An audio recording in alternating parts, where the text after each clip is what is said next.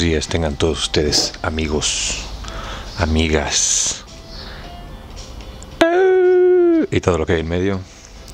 Bienvenidos una vez más a este su círculo de lectura. Y quiero comenzar disculpándome. Bueno, no. Ni tampoco es como que tengo que dar ningún tipo de explicación. Pero me gustaría hacerlo. Eh, ha sido un proceso bastante interesante, reconfortante e inclusive si yo fuera un vaso, cada vez que hago uno de estos videos es como si le echara agua, ¿no?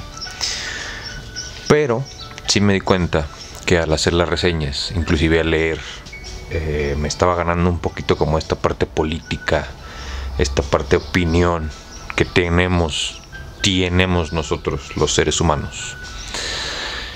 Y me di cuenta que no tenía nada bueno que decir. Entonces a veces cuando no tenemos nada bueno que decir, mejor hay que quedarnos callados.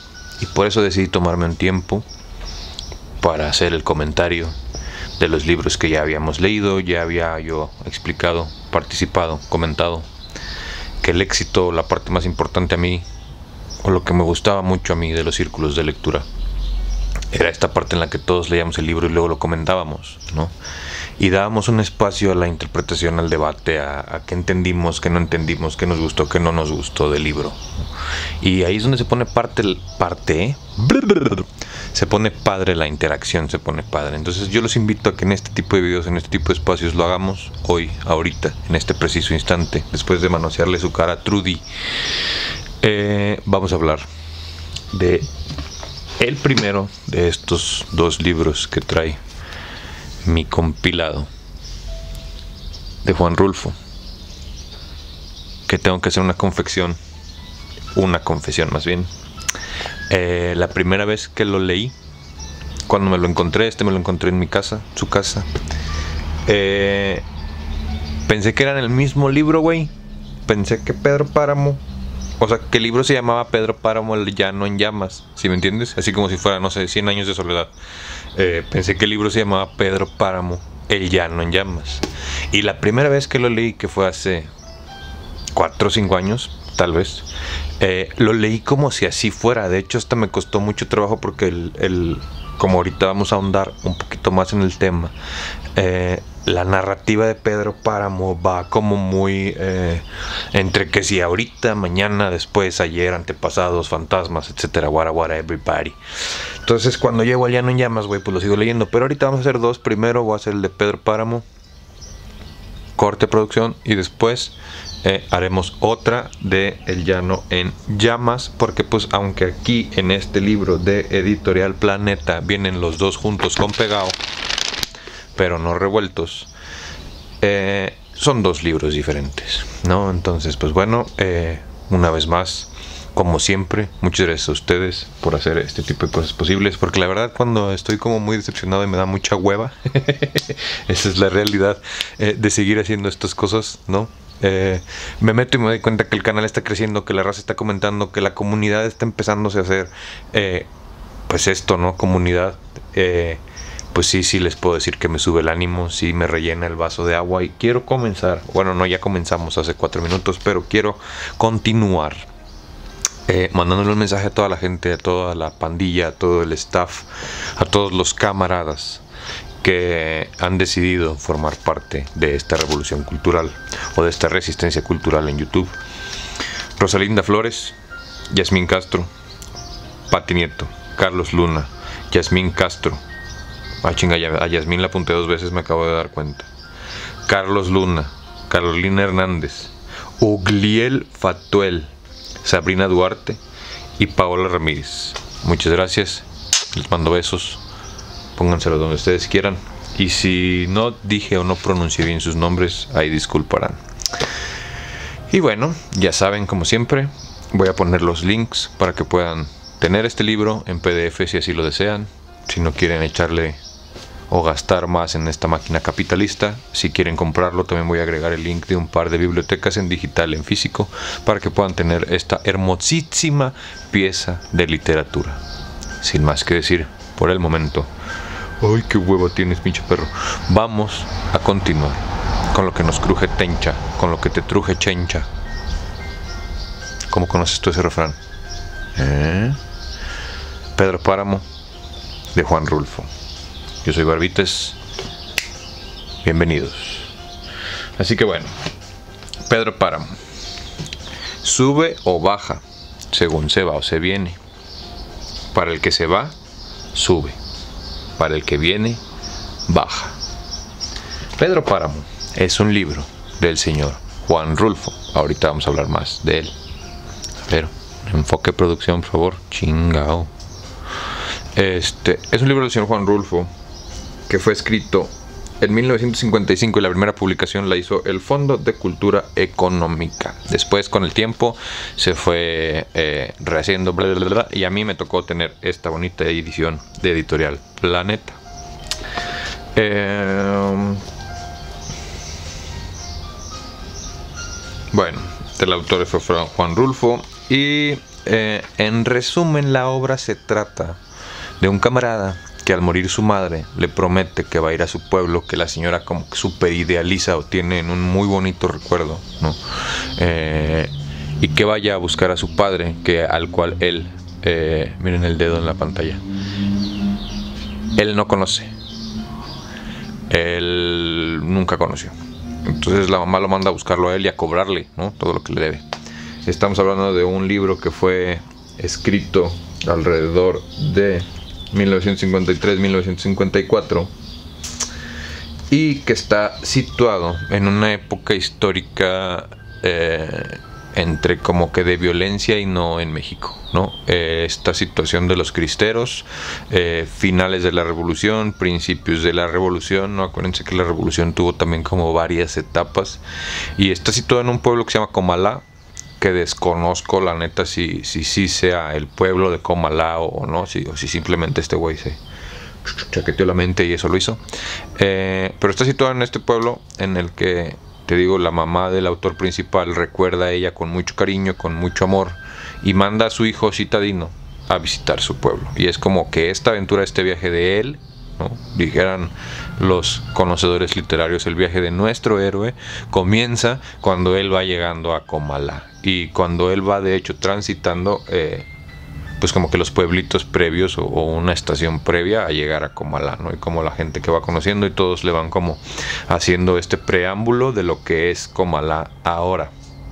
Entonces, eh, bueno, nada más como eh, fun fact, Juan Rulfo, al estar escribiendo este libro, publica un par de adelantos en 1953 o en el 1954, Una estrella bajo la luna y Los murmullos de Comalá, que son como diferentes capítulos, este, en los periódicos. Es una recopilación de cuentos de la muerte, la ruralidad y la esperanza, o la pérdida de, en la revolución o tras la revolución mexicana, y nos presenta esta parte del realismo mágico que una vez más, eh, como ciertos autores o ciertos pintores, yo creo que ellos no sabían que estaban escribiendo realismo mágico, sino que ellos nada más estaban narrando su versión de las cosas este, para poder eh, pues platicar con la raza, ¿sabes cómo? Vamos a hablar también un poquito Juan Rulfo. Y pues bueno, vámonos con el tema de la Revolución Cristera para empezar a ponernos en contexto. Eh, la guerra cristera sucedió entre 1926 y 1929 o 1934 y 38 en el centro sur de México y fue el ejército mexicano contra el ejército cristero. Long story short, eh, hay una ley que se llama la ley Calles que se promulga en junio de julio de 1926 que limita y controla el culto religioso y que impone ciertas provisiones a la Iglesia Católica. Es durante esta parte de la separación por fin de la Iglesia y del Estado. Y cuando el Estado se empieza a meter realmente, se empieza a meter con esta máquina de adoctrinamiento que es la escuela. Digo, perdón, también eh, con esta máquina de adoctrinamiento que es la Iglesia. ¿no? Eh, y entonces, pues obviamente la iglesia dice, güey, aguanta y se pone pendeja y eh, levanta en armas a todos sus fieles. Básicamente la ley de 21 de junio eh, se promulgó en la Constitución de 1917 y prohibía el culto fuera de las iglesias. Restringió los derechos de culto del credo, del clero o de esos señores que usan bata y les gustan los niños, que también les llaman sacerdotes. Restringió el derecho civil del clero eh, digamos que los volvió personas, ¿no? Les quitó como que esta parte eh, pontificada, santificada que tenían esta bola de pendejos abusadores y los convirtió en seres humanos que se tenían que atener a las mismas leyes que se tenían que atener todos los demás. Obviamente, ¿no? A la bola de señores, ¿no? De hecho, les voy a contar un chiste que me contaron ahorita, que dice, ¿cuál es el exorcismo al revés? el exorcismo a la inversa es cuando el diablo le pide al sacerdote que se salga del niño. Perdón. Entonces, este los vuelve, ¿no? Eh, personas y expropia un chingo de tierras a la corporación, a corporaciones religiosas. O sea, les empiezan a quitar terrenos al texto de lacras eh, que pues en realidad no le sirven de nada a la gente. Eh, es la ley calles eh, y además limita la participación de la iglesia en la política y la educación. Obviamente a partir de ahí la iglesia dice boicot, señoras y señores, vamos a hacer un desmadre y se sale todo el control. Y entonces pues empiezan los putazos fuertes. Y cuando te digo fuertes, fueron fuertes. Porque además tenías como que una parte de la población que en estos momentos era cuando México era creo que 80-90% analfabeta. O sea, nadie sabe leer, nadie sabe escribir, güey. La historia que nos contaban era pura basura. Eh, por una parte, eh, el gobierno o los intereses económicos extranjeros patrocinaban al gobierno. Por otra parte, otros intereses económicos eh, patrocinaban a los revolucionarios. Y por otro lado, los intereses económicos europeos patrocinaban a la iglesia y mantenían el control del Estado y de la gente y del pueblo a través de la iglesia, ¿no? Ahora sí que como dicen por ahí, pan y circo. Eh, estas personas son las que aplicaron el concepto del pan y circo desde que en Roma se peleaba la gente con espadas para entretener a los demás, güey, ¿no? Entonces, eh, toda esta cultura, ¿no? De de control social de razas o de masas, eh, pues obviamente cuando el gobierno del Estado o el Estado mexicano eh, dice, bueno, señoras y señores, se les acabó el 20, pues empiezan los putazos bien duro. Y ahí es, o en esta serie de épocas violentas, ¿no? de además de mucha desigualdad social, eh, es cuando llega, o es cuando está planteado, ah, cabrón, este libro. Es cuando está planteado este libro. Entonces, por eso también vamos a leer, vamos a ver, vamos a tener ciertas situaciones eh, que inclusive a leerlas para ciertas generaciones que están hechas de vidrio o del nuez, digo del eh, dulce mexicano ese muy popular que es como un polvo que le dicen mazapán. Eh, tal vez para estas generaciones pueden haber un par de cositas que sean difíciles de leer, eso no quiere decir que no las tengan que o que quieran empezar a cancelar libros, no sean pendejos. ¿No? O sea, hay que empezar a entender los contextos históricos de las cosas que estaban pasando para que podamos entender entonces en dónde estamos parados hoy, güey, y por qué se han ido llevando a cabo todos estos ligeros o grandes cambios sobre nuestra cultura, sobre nuestra sociedad, ¿no? O sea, nos habla de cosas de abuso, nos habla de cuestiones de, poder, nos habla de cuestiones... Eh, inclusive como de, violencia entre la gente que era eh, libre, vaya, ¿no? Nos habla mucho de racismo, clasismo, eh, pero desde un punto de vista, no le podríamos llamar objetivo porque no es objetividad, güey, ¿no? Pero es histórico. Y es también entender un poco, y yo creo que conforme nos va platicando las historias, nos va poniendo como que el contexto de quién era ¿no? Esta persona a la que está buscando nuestro personaje principal. Ahora, conmigo yo no les voy a andar diciendo nombres, no les voy a andar diciendo partes de la historia, nada, ¿Quieren saber qué pedo? Lean el libro. ¿No quieren leer el libro? Métanse el pinche link que está aquí abajo, donde este marihuano, digo, donde esta persona lee el libro completo para todas ustedes, para todos ustedes, camaradas.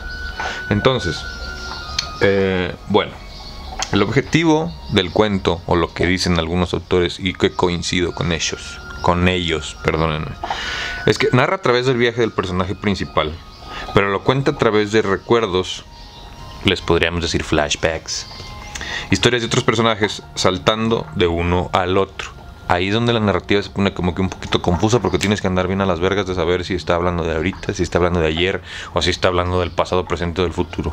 Y como a la mitad del libro a mí me cayó en cuenta que los personajes con los que estaba hablando eran como que de diferentes, eh, vamos a llamarles, planos astrales, hermano, ¿no? Eh, como detallitos así eh, entre que fantasmagóricos, vas a mover la cámara y vamos a tener problemas tú y yo.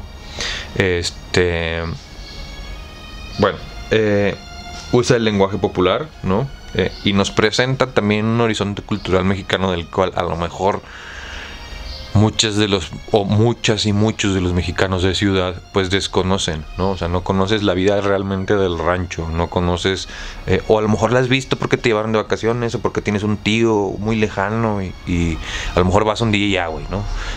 pero sí nos presenta un lenguaje eh, o nos, nos, empieza a presentar un horizonte cultural en el México del cual pues realmente nadie nos platica, güey, ¿no? Nadie nos dice, nos cuenta la versión del rural, nadie nos cuenta realmente la versión de la gente que trabajó, que vivió la tierra, de, de la gente que seguía a Pancho Villa, Emiliano Zapata, Maximiliano, güey, ¿no? Nadie nos, nos explica por qué la gente lo seguía tan lealmente, güey, frenéticamente, religiosamente, ¿no? O sea, cómo pudieron convertirse en los líderes que se convirtieron. Tiene mucho que ver con el contexto social, güey. Eh, y explora, ¿no? Eso lo leí, ahorita les digo en dónde. Eh, o bueno, les voy a poner el link aquí abajo de, la reseña de, de, la persona que leí que me gustó más. este. Y ella dice que el libro está escrito en explorar ciertas técnicas o ciertas frases mexicanas de las cuales estoy de acuerdo, güey.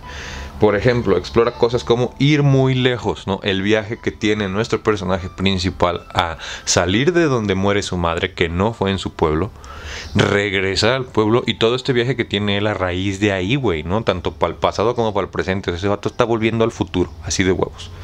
Este con la frase ir muy lejos, ¿no? El hilo de la vida, una vez más, este tema de, cómo estamos unidas todas las personas, los chinos le dicen el hilo rojo, por ejemplo, ¿no? Y cómo nuestra historia va es cíclica. Eh, la edad de oro, el Edén primordial, y bueno, tiene muchas frases eh, mexicanas, ¿no? Tipo refrán, que explora y que...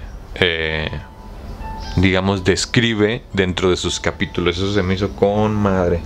Eh, usa una narrativa o simbología que parte del imaginario colectivo del mexicano. Cuenta el libro como te contarían una historia. Y sí es cierto. Eh, a pesar de ¿no? la, la, magia de las letras, sí hay ciertos lectores que son como muy rimbombantes, ¿no? También por aquí tenemos uno de Cervantes, y él sí al escribir o al, al estar contándonos ¿no? la historia de, de, Don Quijote de la Mancha, sí puede ser como muy... Eh, ay, güey, ¿no? Se va para acá y se va para allá y para arriba y para abajo. Eh, y puede ser muy ribombante en la forma de contar su historia. Este güey no, este güey es cuando estás platicando con tu compa y te están platicando el chisme y luego y vi, a la tía Chona, pero ¿vas cuenta que te acuerdas de la tía Chona? No, bueno, la tía Chona era la que tenía tres hijos, güey, que su hija estaba bien buena. ¿Te acuerdas o no te acuerdas? Sí, pero ¿cuál buena? ¿La que estaba gorda o la que estaba flaca? No, pues ¿cuál te gusta más? No, pues que a mí me gustan las dos. Bueno, pues si te acuerdas, entonces perfectamente la tía Chona.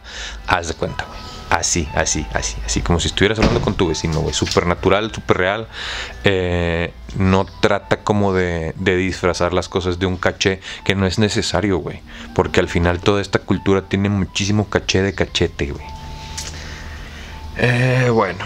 Eh, a través del viaje del personaje principal conocemos la historia, no, no solo de él, sino del pueblo en general, güey eh, los relatos ¿no? de, lo que vivía la gente día a día, la condición social, eh, quiénes eran, cómo vivían, cómo vivía el que tenía dinero y cómo vivía el que era su empleado, pero además cómo eran los hijos del que tenía dinero y cuántas situaciones podían ellos hacer o no hacer, nada más porque eran hijos del hacendado, güey.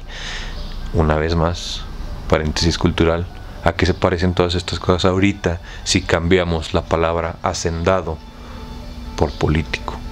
Funcionario público.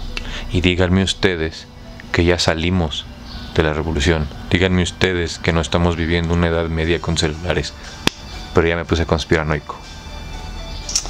Eh, Dentro de la condición social, obviamente, nos cuenta del caciquismo y la tiranía. Para los que no sepan qué es el caciquismo, es como una versión de la edad feudal, pero en México, en la cual los dueños de las haciendas eran los caciques y eran dueños, amos y señores de toda la gente que trabajaba ahí, a través de las tiendas de raya, bancos, créditos, perdón, a través de las tiendas de raya, mantenían oprimido al obrero, perdón, perdón, perdón, perdón, me confundo, mantenían oprimido y endeudado al campesino ¿A qué se parece, marihuanos? Piénsenlo bien, machín. Piénsenlo muy bien, si es que pueden todavía pensar. Eh, y como toda esta tiranía también tenía ciertos como desenvolvimientos y cómo la gente vivía del otro lado de la tiranía, ¿no? Que pensaba Chuchita Pérez de que el patrón llegara y se llevara a sus hijas a la verga, ¿no? Y que pensaban sus hijas que después de años los venían a buscar porque había el final, bla, bla, bla, bla, bla. Y como todas estas concepciones estúpidas que le metían a la gente en la mente. Blay. Y la trascendencia y el olvido, ¿no? Cómo podemos pasar de ser eh, la parte más alta, ¿no? De la, a ver, aquí porque aquí se ve, la parte más alta, ¿no? De nuestra comunidad, cómo podemos ser como, eh, pues sí, güey, como el top y pasar a ser algo que va a quedar o que está quedando en el olvido o que la gente está haciendo que se olvide, ¿no? Eh, como al final la misma espuma que te sube al final es espuma y desaparece y caes de golpe, miñero, así como se espantó la Trudy. Eh, la imagen sociocultural ¿no? que vivía el país en ese momento, eh, porque al final al hablar de un solo pueblo o de un, de un lugar, nos hablan también de lo que pasa alrededor y de las expectativas que tiene la gente, de dónde se va, de dónde viene, qué hace cuando empiezan las crisis, etcétera, etcétera, etcétera. Entonces todas estas partes eh, también nos presentan como que una imagen sociocultural de México muy interesante. Y bueno, el viaje por los recuerdos, que ahí es donde entra toda esta parte ficcionaria del imaginativo colectivo mexicano, güey. Que es esta parte de la historia en la cual no sabes qué parte es un sueño, qué parte es realidad y cuál de las cosas... Eh, están o son parte de un mundo como de fantasía o de recuerdo, ¿no? Este. Y básicamente ese es un poquito de Pedro Páramo. Ahora, ¿quién fue Juan Rulfo? ¿Quién era Juan Rulfo? Mm.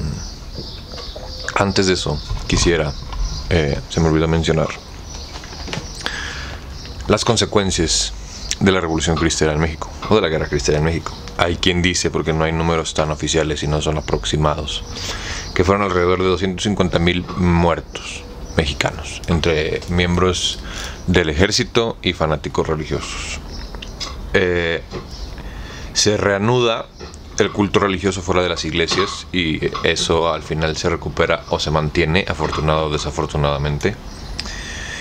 Se genera un movimiento migratorio muy fuerte en Estados Unidos porque pues, la gente ya harta como de estos largos periodos de conflicto y guerra, ¿no? Porque al final la revolución cristera fue como eh, la insistencia de ciertos grupos que estaban acostumbrados al poder de seguir chingando a la madre, hay otra manera de decirlo, para poder mantener sus privilegios. No, no me quedé trabado. Nada más como que la historia se repite a veces, ¿no? Eh, y y pues la gente está hasta la madre, ¿no? Vienen de la revolución, de años y años de la revolución de traiciones, que si este contra este, que si Huerta contra Zapata, que si Villa contra Pancho, que si Juan contra Pedro al final, güey, la gente se aburre y se harta también de la violencia, aunque usted no lo crea. Entonces se genera un movimiento eh, muy cabrón de migratorios a Estados Unidos. Se crea el sinarquismo. Y empieza un movimiento católico y nacionalista que en 1937 participa activamente en la vida política y se fusiona con un partido muy popular en decadencia de nuestros tiempos, el Partido de Acción Nacional.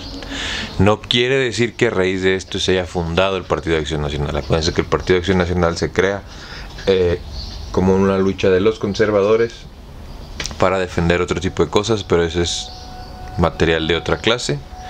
Y permítame un segundo. Este, bueno, ya después, eh, con este como movimiento en el que le quitan el poder económico político a la iglesia, se crean como estos nuevos movimientos en los que además, pues bueno, ¿no? Eh, esta gente o estos fanáticos religiosos deciden agregarse a las filas de estos cabrones. Pero bueno, esta información la encontré en culturagenial.com. Y bueno, pasando a quién era Juan Rulfo, porque también es importante que conozcamos un poquito del contenido, del contexto del autor. Acuérdense que sí hay una manera, o si somos eh, inteligentes, pensantes, podemos empezar a separar el arte del artista, pero también es importante, si somos inteligentes y pensantes, que sepamos el contexto en el que vivieron los creadores, los creativos, ¿no? en el que vivieron los autores más bien. ¿Quién era Juan Rulfo y por qué escribió Pedro Páramo? ¿no? Juan Nepomuceno Carlos Pérez Rulfo Vizcaíno, ese era su nombre completo. Nació el 16 de mayo, de hecho, día en el que estamos grabando esta versión o esta parte del video. Felicidades, Juan Rulfo. Eh, el 16 de mayo en 1917 en Apulco, Jalisco. Van a encontrar un par de biografías y es en investigación que dice Acapulco. Yo creo que fue un error de dedo. Pero bueno, Aculco, Apulco, Jalisco. Y fue registrado en casa de su abuelo paterno en Sayula, Muere en el Distrito Federal, bueno, en la Ciudad de México, en enero de 1986. Eh, sus primeros años creció entre Apulco, Sayula y un pueblo que se llamaba San Gabriel, que son pues básicamente las villas rurales del México antiguo, ¿no? Eh, que es donde a él le toca vivir esta etapa eh, de la Revolución Cristera de primera mano, pero no la vive tal vez como algunos otros actores que ya eran parte, ¿no? De la, o de la fuerza política o de la fuerza juvenil. No, no, no, él era un chavito, él estaba mequillo, estaba morrillo cuando pasó todo esto y le toca como toda esta revolución, toda esta, bueno, la post-revolución, pero además la revolución cristera, ¿no? Porque, bueno, este, y es un lugar, ¿no? Dicen los autores, de mucha superstición y cultos.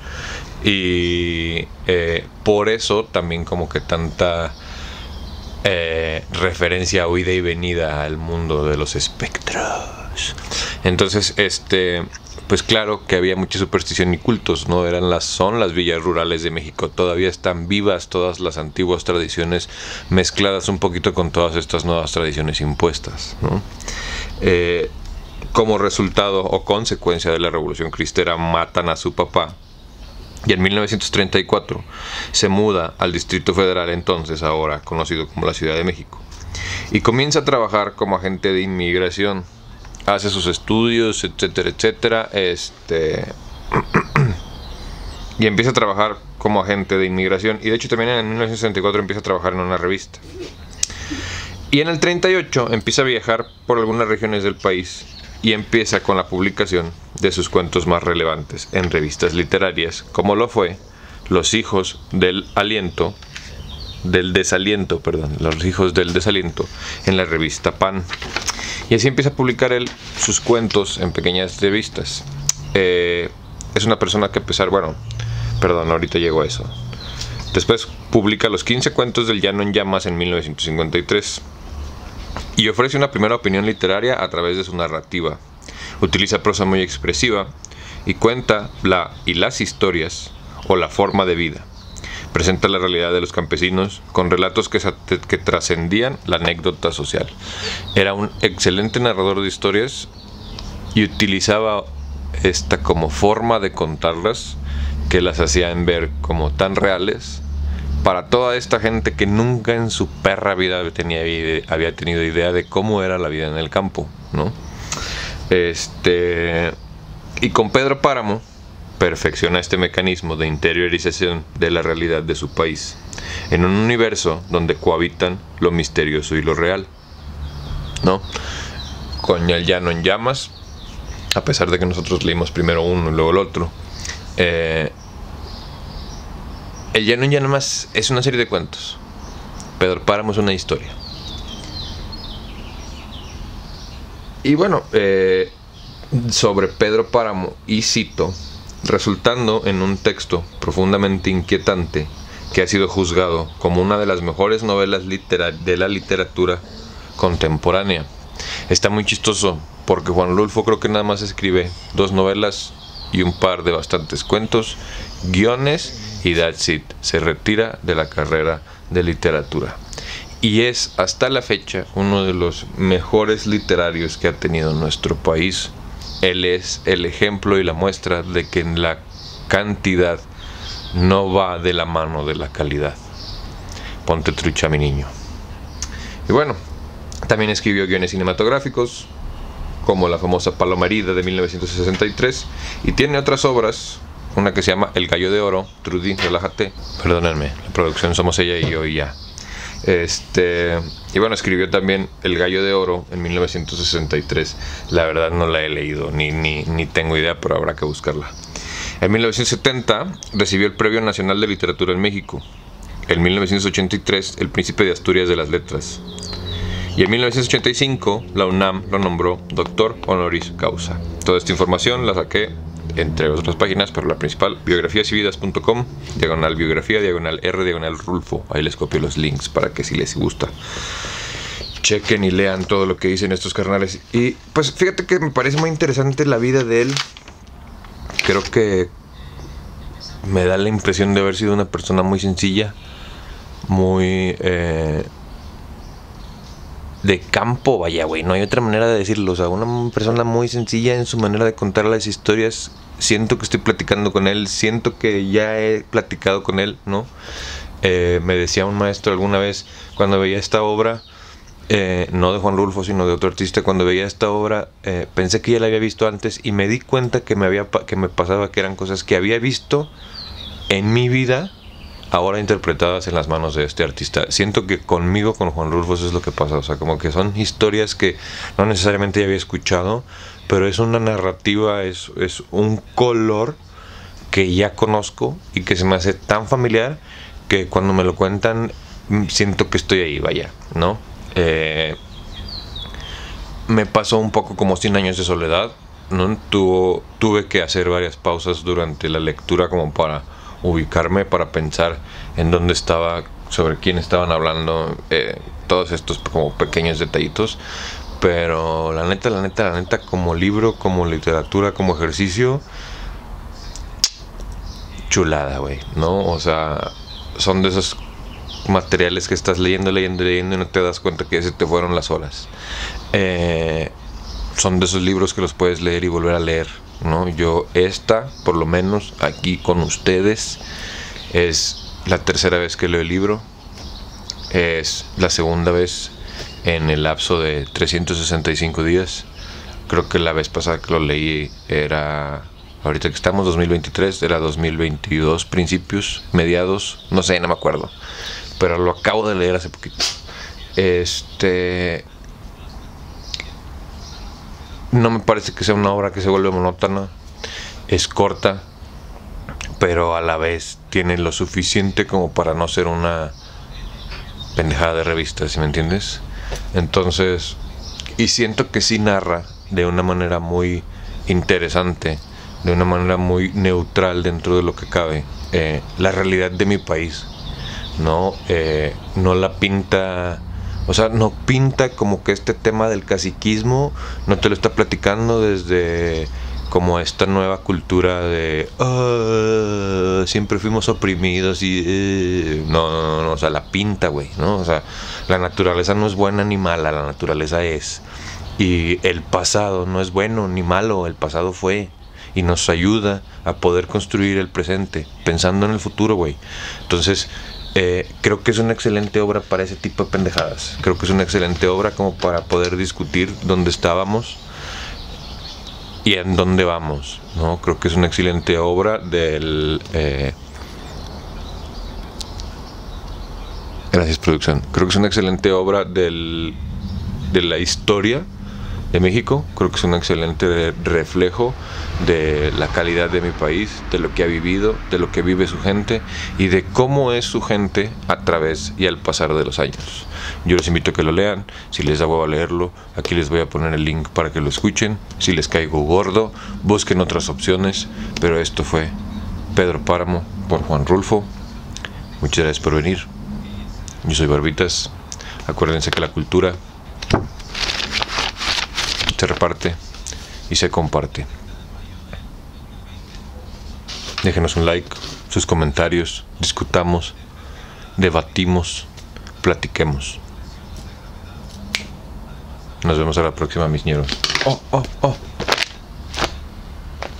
No me salió.